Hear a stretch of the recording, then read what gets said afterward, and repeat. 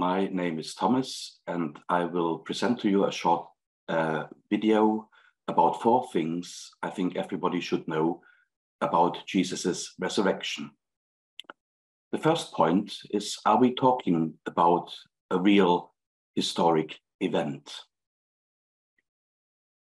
Well, there is no hard evidence as in archaeological findings, but we have to admit that that would be rather difficult for an event like the resurrection. Also, to have faith is not like knowing things in science which you can prove at hand of an experiment. In fact, the Bible itself says what faith is.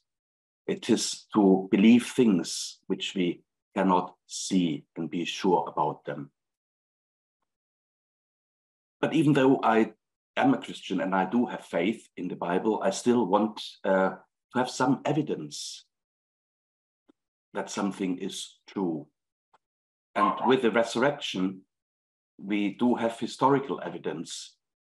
There are two Roman historians, I think they have been mentioned on this video before, Flavius Josephus. He was uh, born a Jew in Jerusalem, AD 37, so probably 10 years after Jesus was crucified and resurrected. So it's very likely that he, he will have spoken to eyewitnesses. He penned his works down in AD 71 in Rome. So not much time has lapsed between the event and him writing about it. The other one is Tacitus, a Roman historian, and he penned down his works in AD 116. The interesting thing is the accuracy with which Josephus, Tacitus, and the four authors of the gospel name the people who were in charge, the people who were concerned with the event and the time when it happened, because they are consistent and historically correct. Let's have a quick look. Um, we see that what they say that Jesus or Christ was sentenced to death on the cross by Pilate, who was the Roman governor of Judea at the time. He did that at the will of the Jewish people. And Jesus was resurrected on the third day.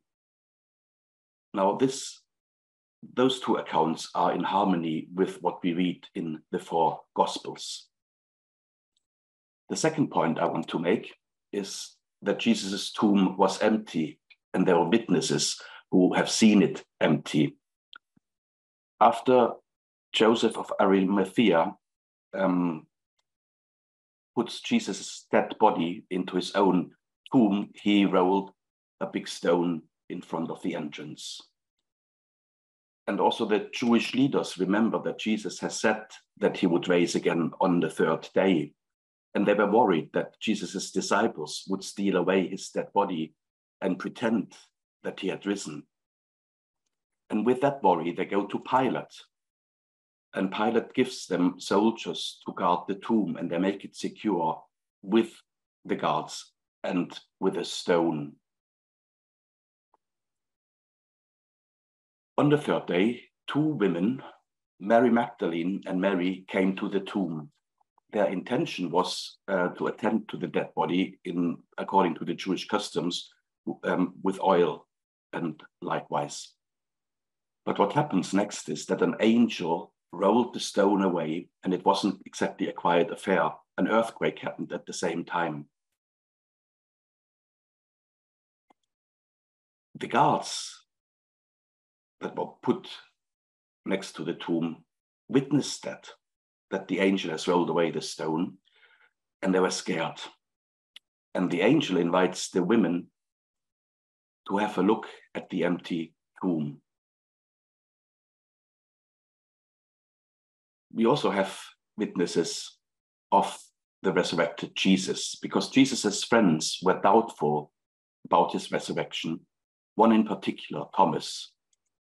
Thomas wasn't present when Jesus first appeared to them, and he said he would only believe if he would see proof, and that is the marks of the nails in Jesus' hands with which he was nailed to the cross, and the mark in his side where he was pierced by the soldier. And just over a week later, Jesus appears to them again, And this time, Thomas was present and he could put his fingers into the marks Jesus carried from his crucifixion. And Jesus makes this statement to him Look, you have seen and you believe. Oh, blessed are those who don't see but believe. The Apostle Paul gives us a whole list of people who have witnessed the resurrected Jesus. He starts off that Christ died, that he was buried, and that he was raised. And then he appeared to Cephas, which is Peter, then to the 12, then to more than 500 brothers and sisters, of which most were still alive when Paul penned this, and then James, all the apostles, and finally to Paul himself. Many of those were killed for the testimony about Jesus' resurrection. Let's go on to point number three. Which form did Jesus' body have when he was raised from the dead? Jesus appeared to his disciples after his resurrection, and they thought he must be a ghost. But Jesus did reassure them and said that he has risen with flesh and bones and the marks of his crucifixion. But they are still doubtful, and uh, to remove that doubt, Jesus eats in front of them. So Jesus has risen as a real person, not a spirit. Point number four I want to make is that Jesus' resurrection is a key part of the Christian faith. The Apostle Paul says to the Romans that the fact that God has raised Jesus from the dead is proof that Jesus is the one he said he was God's Son. And I believe in a Savior, Jesus, who did die for my sin, but now is very much alive. Again, the Apostle Paul speaks to the Philippians about the power of Christ's resurrection. And that really means that as a Christian, I have the faith, the sure hope that I likewise will be resurrected if I'm dead when Jesus comes back. But that's another topic. If you're interested, follow this channel to hear more about it. I'll just give a short summary about those four points I think everybody should know about Jesus' resurrection. First of all, that it was a real historic event. Secondly, that people have witnessed an empty tomb and have seen the resurrected Jesus. Thirdly, that Jesus rose from the dead with flesh and bones, not as a spirit, but as a real person. And fourthly, that Jesus' resurrection is a fundamental part of the Christian faith. Thank you for watching. I hope you have enjoyed my presentation. If so, please give me a like if you like to leave a comment, please do so.